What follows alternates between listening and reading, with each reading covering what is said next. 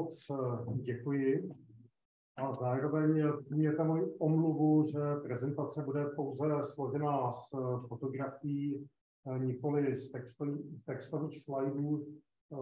Je to dáno do značné míry tím, že ačkoliv jsem se ve veřejném prostoru za zprávu Národního parku možná vyjadřoval požární situaci nejčastěji, tak jsem se vlastně nikdy nezamýšlel nad tím, jak eh, celý ten příběh prezentovat do, jednoho, do jedné myšlenkové linky. Takže prozatím, uh, prozatím jsem improvizoval tím tou přípravou několika fotografií. To, co vidíme na obrázku tady nad sebou, je tak, jak jsme na něj byli do nedávna zvyklí. Je to celkem romantická podoba. Musím říct, že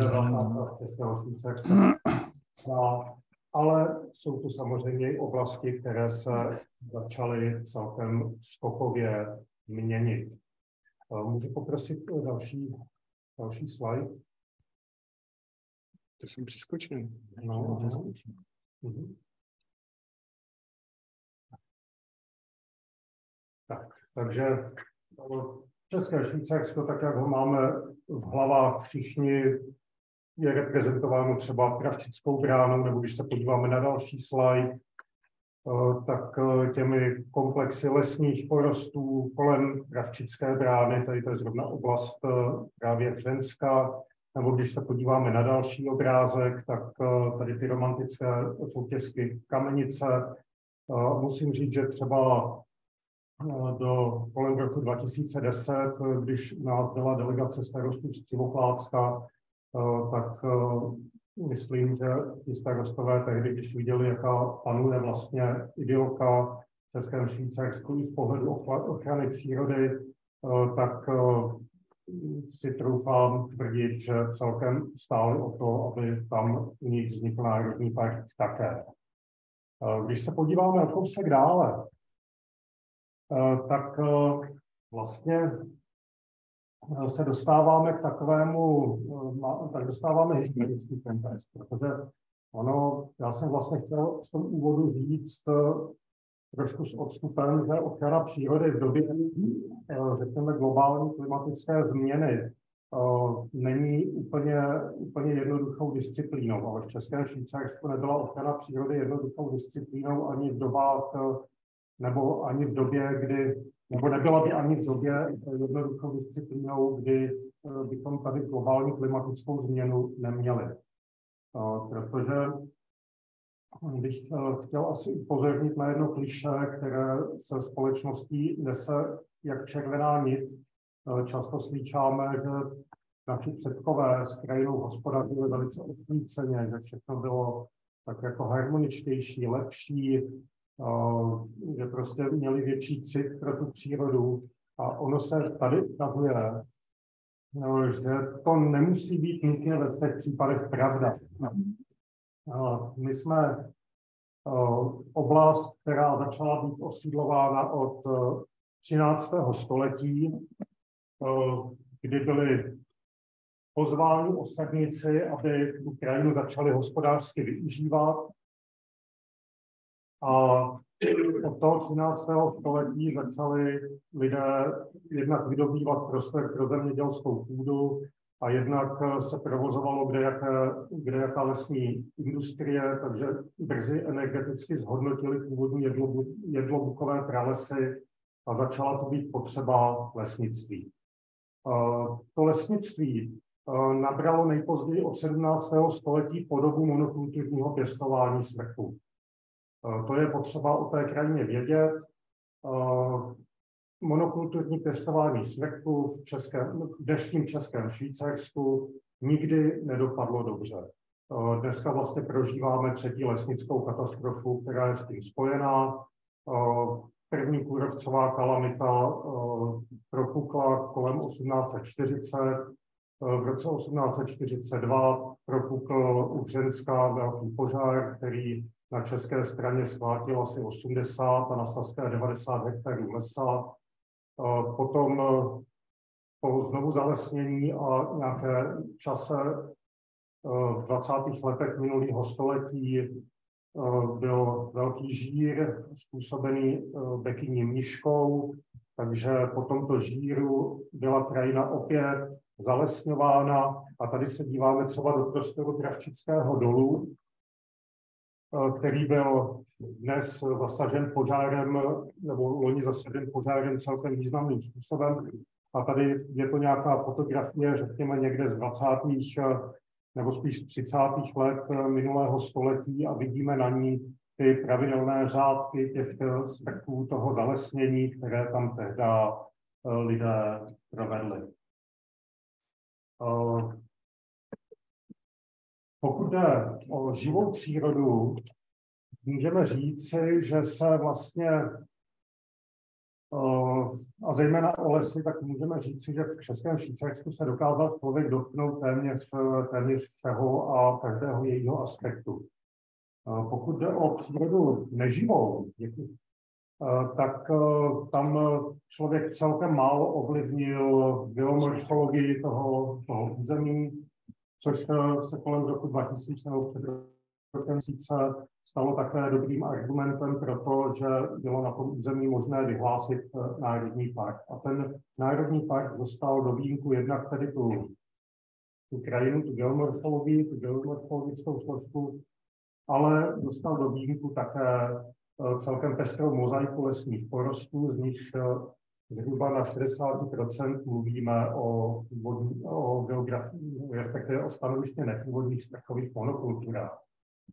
E, tak jak to vidíme třeba tady na tom snímku, který je někdy z roku možná 2015 nebo 16, kde tam vidíte, jak e, romanticky to vypadalo, takový smrkový porost, tam je to trošku malé, ale uprostřed té loučky se pase jelen a téměř to, eh, téměř to připomíná takové ty romantické obrázky, tak jak je kreslil Anton Graf nebo Adrian Zink nebo Kaspar David Friedrich eh, na přelomu 18. a 19. století. Uvnitř takové světové monokultury to nevypadalo už tak romanticky. Eh, tohle je nějaký mladší porost, který je velice temný, nevidíme tam v podstatě žádné, eh, žádná nižší patra lesa, vidíme tam jenom ten, eh, to horní patro. No a tady to v podstatě, ano, odpovídalo to, bylo to založené jako hospodářské lesy. Já nechci tak nasazovat předkům psí hlavu, oni měli prostě záměr s tím lesem, eh, my jsme ho v postupu času trošku změnili.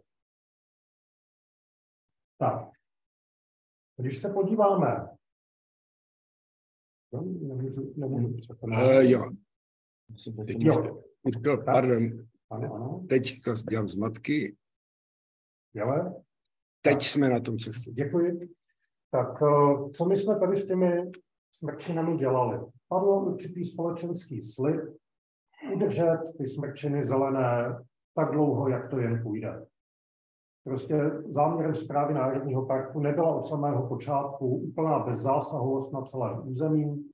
Eh, dělalo se u nás aktivní rekonstrukční management v těch eh, monokulturních strčinách, který spočíval převážně ve výběrových těžbách, takže snížilo se zakmenění toho porostu eh, s cílem podpořit to, čemu jsme říkali cílové podrostu a eventuálně eh, jsme takhle upravené porosty i eh, podsazovali, takže jsme se snažili ten monokulturní, monokulturní eh, smrkovou nebo tu, tu monokulturní strčinu přeměnit na nebo nastartovat směrem do přírodě bližšího lesa.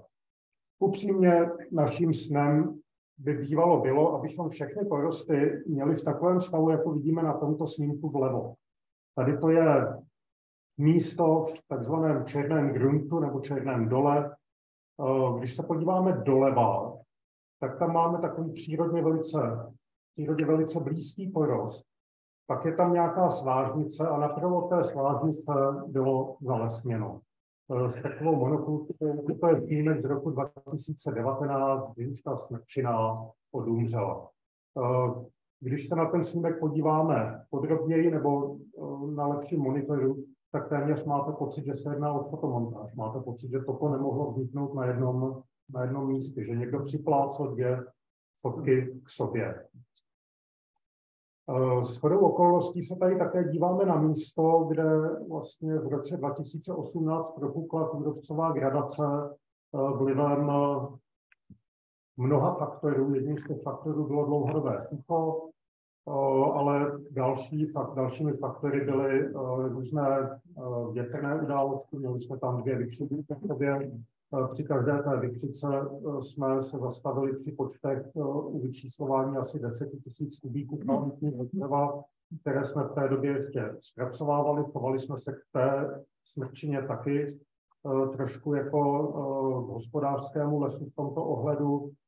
A tady jsme zasahovat v té době nemohli, protože platilo zrovna přechodné ustanovení zákona o ochraně přírody a krajiny, kde se první zóna tehdejší považovala za, současně za zónu přírodní. Takže, eh, takže tady jsme době tedy netěžili, když se tam kůrovec objevil, ale těžili jsme hned vedle, takže tady máme cestičku v Černém Grintu, kde jsme v roce 2018 a částečně, částečně v roce 2019 standardními lesními postupy se snažili zbrzdit postup líkožrouta smrkového. Nicméně ten boj byl sisyfovský. Vznikly na straně jedné takovéhle holiny. To je stejné místo plus minus, jo. Takže jenom, jenom to už na tom nepoznáte. Přeměnili jsme tam ten úsek k nepoznání a v oblasti Hřenska vznikly holiny, které e, svou rozlohou na jednom místě přesáhla 40 hektarů a pak tam vznikly ještě doprovodné menší holiny a pak jsme ještě měli holosečné těžby kvůli zajištění bezpečnosti podél cest, takže tam vznikly různé široké pruhy ještě podél turistických cest a státní silní a okresní silnice.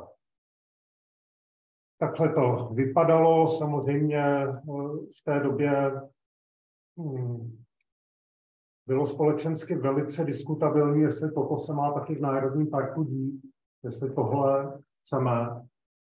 Byla to naprosto legitimní diskuze, a protože jsme tam dospěli na základě zkušeností s neúčinností toho boje uh, s likožroutem k závěru, že bychom takto brzy odlesnili asi 60% území Národního parku, uh, tak jsme přestali. Omezili jsme naše činnosti jenom na bezprostřední sousedství s jinými vlastníky lesů mimo Národní park, a to pouze ještě v případě, že oni tam toho kůrovce ještě neměli. Takže takhle to eh, vypadalo a říkám to z toho důvodu, že to má úzkou souvislost, protože příběh požáru v Českém Švýcarsku a příběh velikožrouta v Českém Švýcarsku a příběh přestavby smrtových monokultur ještě předtím vnímám jako různé aspekty uh, jednoho a téhož. Je to prostě jeden příběh, který má různé, různé projevy. Eh, takže když eh, tedy skočím k tomu požáru eh, v Národním parku, tak toto je snímek ze 24. července 2022, kdy to začalo. To, co tady vidíme, to, co tady vidíme, je tady takhle dole je Malinový důl.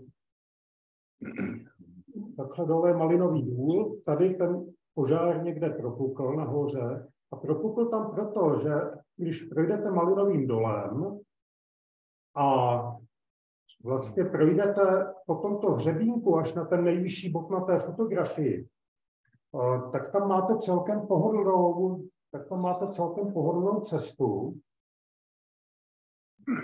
A když přijdete třeba z německé strany, anebo když to tam trošičku znáte, eh, tak můžete přijít a udělat si tam ohýnek. Jo, můžete prostě, eh, můžete tam prostě zakempovat. Je to i nedaleko parkoviště ve Hřensku, které je tady dole, takže když to zase malinko znáte, a, jste, a nechcete jít pěšky z té saské strany a přijdete z té české, tak jste tam za chvilku. Z toho místa je takový celkem i docela hezký výhled. Eh, takže tady došlo k tomu zahoření, došlo k němu někdy, eh, řekněme, kolem půlnoci z 23. na 24. A ten požár byl objeven ostatně jako prakticky všechny požáry v, České, v Českém Švýcarsku do té doby velice záhy. Eh, v 7 hodin ráno ho objevili kolegové na saské straně, viděli, že se kouří lesa, volali kolegy na české straně, ohlásili jsme požár, v 8 hodin už se hasilo, řekl bych, že tak kolem půl desáté nebo desáté tam byl na místě vrtulník a ten hasební zásah eh, byl vlastně, se rozjel jako většina hasebních zásahů v Českém Švýcarsku do té doby. S požáry v Českém Švýcarsku máme s jednou výjimkou takovou zkušenost, že se podařilo velmi záhy zvládnout díky právě včasnému odhalení. Takže tam došlo k tomu, že ve většině případů máme tak jako mezi dvěma až osmi zahořeními v roce.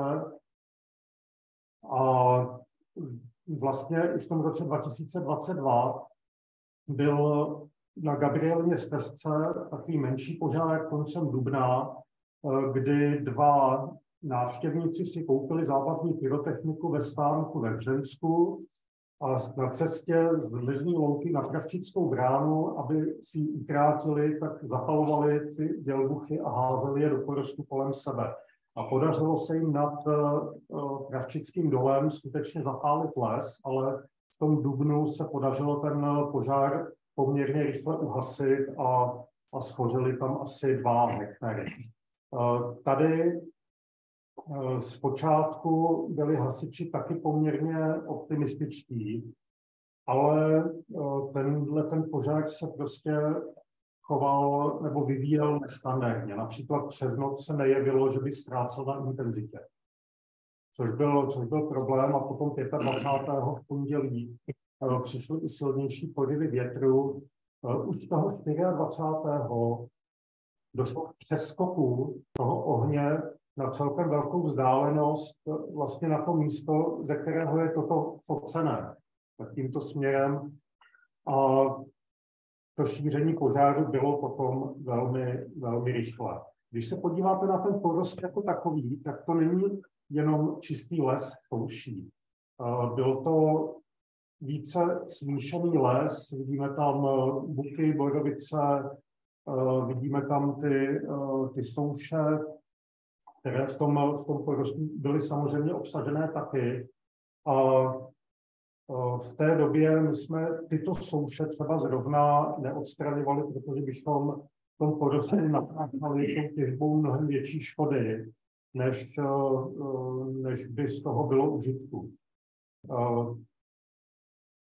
To je taky jeden z bodů, který potom ale bohužel dělal starosti hasičům, protože ty souše, když začnou hořet, tak jak jsou napadené, třeba profesor Milek se domnívá ve svém posudku z technické drážde, eh, univerzity v Drážděnech, no, tak ten profesor Milek se domnívá, že jak jsou ty souše napadené eh, bílou hnilobou, tak potom mají větší potenciál hořet i bez toho, aby, aby hořelo podrostu, nebo aby hořela ta hrabanka, která to celý živí energií.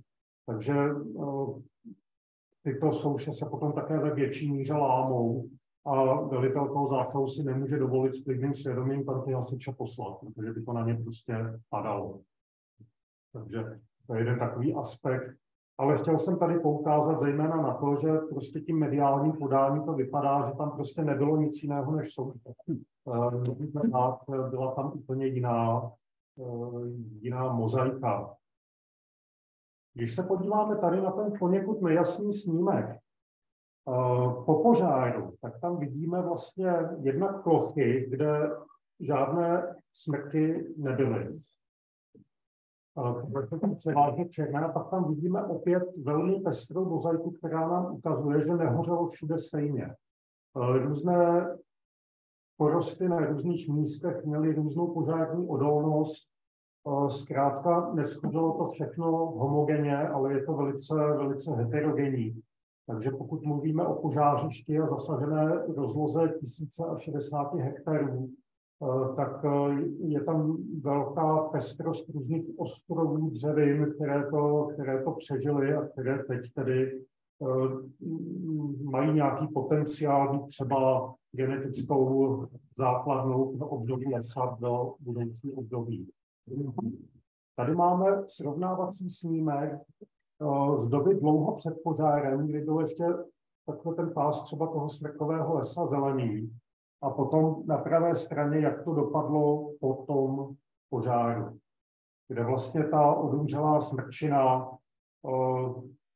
samozřejmě je tam viditelná jako spíše holý pruh a je tam vidět hlavně ta, to, že ten bukový porost sice utrpěl na mnoha místech, ale, ale zdá se, že má dobrou šanci, aby alespoň některé stromy tam přežily.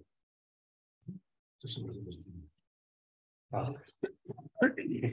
tak a tady, tady jsem chtěl demonstrovat tedy nikoli ten katastrofický rozměr té fotografie, kde tady máme nějaký, nějakou plochu, která je tím požárem zasažená, ale hlavně jsem chtěl demonstrovat tady hned krásné štítko, které se tam někdo založil.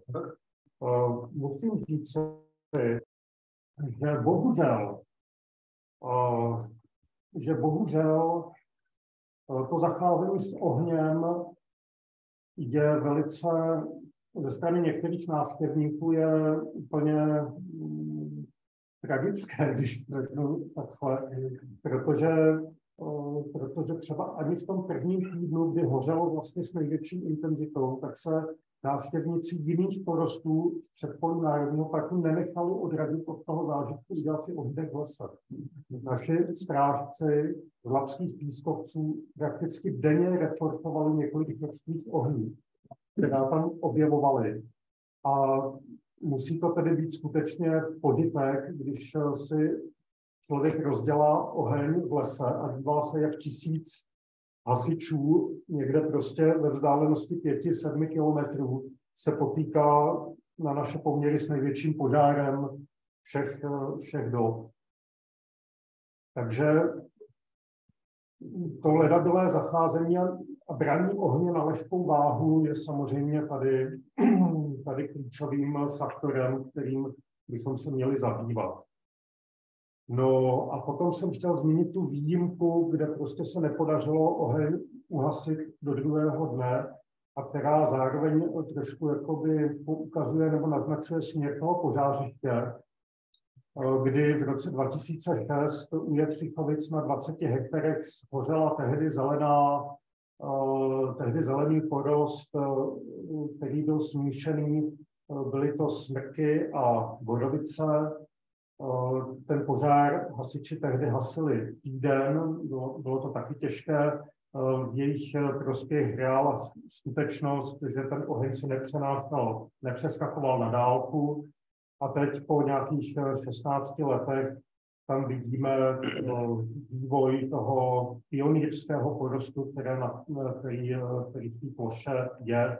Já jsem tedy nezařadil snímek zevnitř, vypadá to docela jako taková džungle, a takhle zvenčí to vypadá už, už celkem optimisticky a naznačuje nám to směr, jakým si příroda představuje asi vývoj toho, toho porostu u nás.